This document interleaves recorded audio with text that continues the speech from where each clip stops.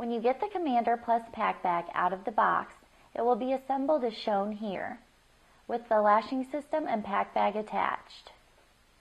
To start, you need to remove the lashing system by removing four clevis pins on one side.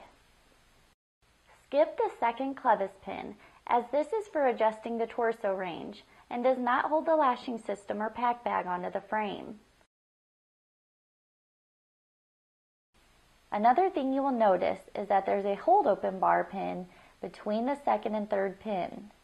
We'll come back to the hold open bar and pin later.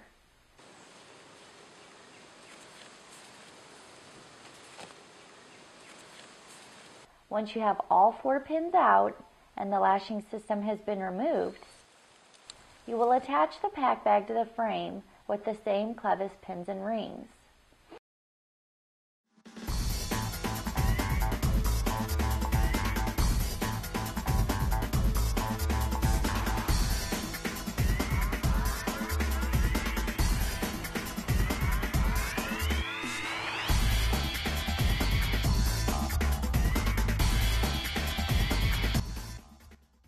The shelf strap will need to be held by the bottom and final pin and hole, so be sure to put the pack bag between the frame and strap.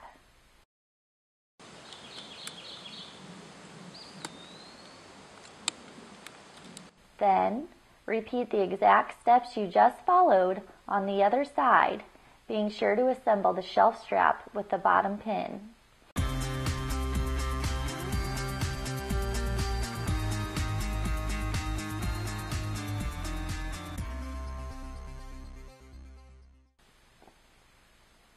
Now we will attach the hold open bar to the frame. This pin will be found underneath the mesh panel. It's the pin that's between the second and third pin that you already assembled in the previous step of attaching the pack bag to the frame. Run the pin through the hold open bar and put the ring back on. There won't be anything on this pin besides the hold open bar.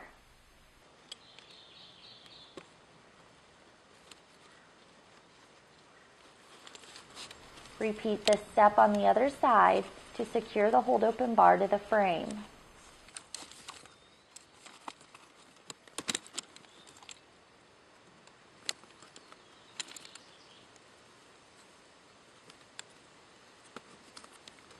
Now your pack bag is ready to haul.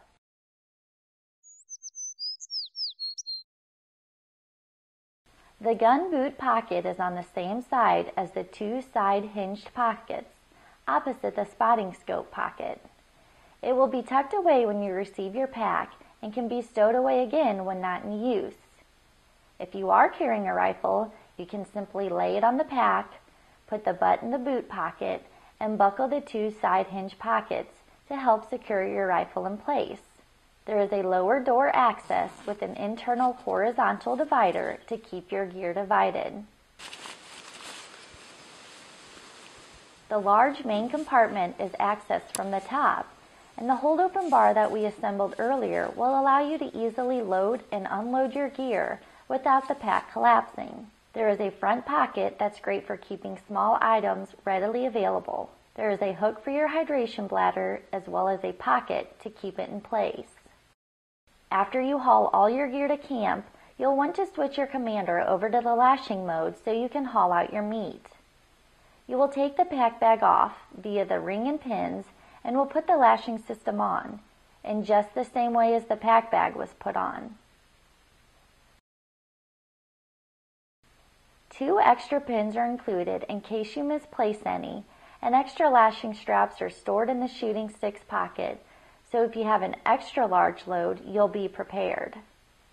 When the commander is being used in the lashing mode, there's a knife and flashlight pocket to keep your most important gear easily accessible.